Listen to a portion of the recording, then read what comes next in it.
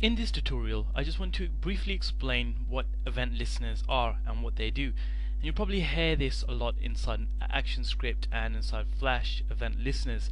Now, what event listeners are, are you've got two types of um, elements going on. So one would be the the, in, the element that transmits the event, so something like a station, a radio station, and we've got something which is a listener.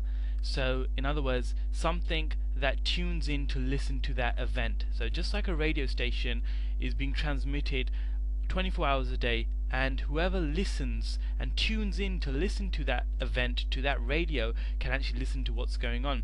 So in other words, in Flash, events are something that happens and a listener would are things that listen to the events that happen. So in other words, they could be movie clips.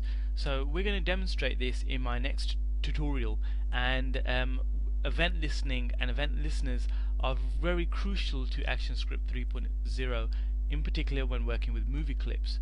So there we have it, understanding event listeners. Next tutorial will put this into practice.